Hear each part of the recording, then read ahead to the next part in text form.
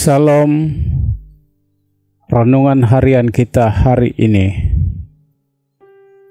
13 April 2022 Yang bertajuk Siapa pun boleh jatuh.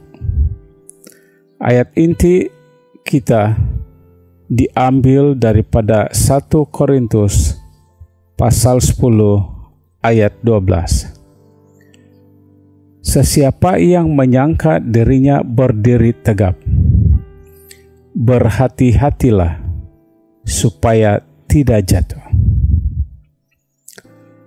Dalam berita kita kerap membaca tentang orang-orang yang punya hubungan luar nikah. Seorang suami atau istri telah meninggalkan pasangannya untuk bersama orang lain dan sekarang sedang dalam sebuah hubungan baru. Ia berlaku terlalu sering sehingga ia nampaknya tidak lagi mengejutkan kita. Menyedihkan sekali, ia nampaknya telah menjadi satu bagian normal dari kehidupan. Malahan sangat normal sehingga kita tidak pun berkelip mata apabila kita mendengar mengenainya. Salah satu bahaya dari sikap cuai yang sedemikian rupa ialah kita lupa bahwa ia boleh berlaku kepada siapa pun kita. Malahan, pada saat kita mulai berpikir, ia tidak akan pernah berlaku kepada saya kita mulai menurunkan pertahanan kita dan berada dalam bahaya akan jatuh ke dalam situasi yang sama. Percaya diri sendiri adalah bahaya. Petrus berpikir bahwa tidak ada yang boleh menyebabkan dia menyangkal kesetiaannya kepada Kristus. Namun, pada saat penggodaan, dia menyerah, tepat seperti yang Yesus ramalkan akan berlaku kepada Petrus. Kita tidak perlu menjadi paranoid, menjarahkan diri kita dari setiap orang supaya jangan kita berdosa, tetapi kita harus berjaga-jaga supaya kita tidak tertipu berpikir bahwa kita sangat kuat secara rohani, sehingga kita tidak pernah akan dikalahkan oleh godaan.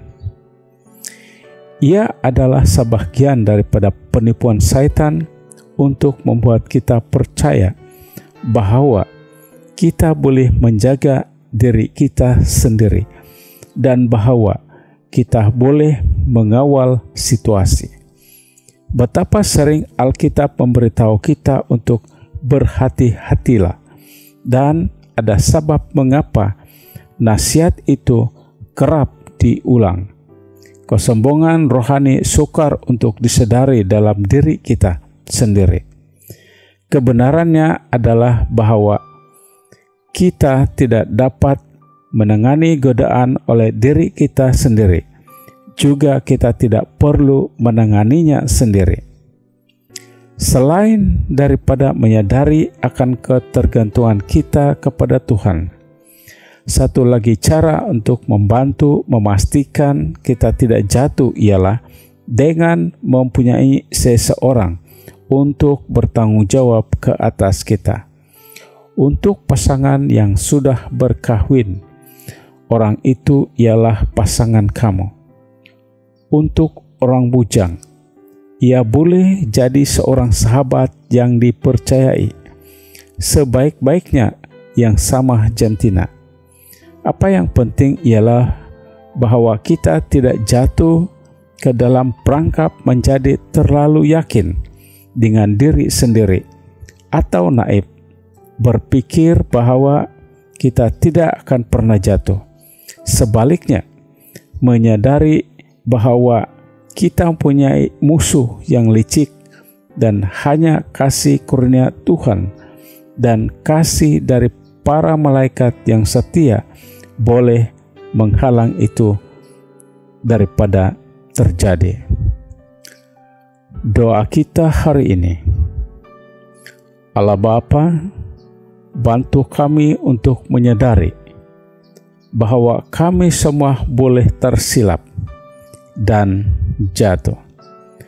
Jauhkan kami daripada kesombongan rohani dan bantu kami untuk datang dekat kepadamu untuk mendapat kekuatan dan kepada orang lain untuk mendapat dorongan dan accountability.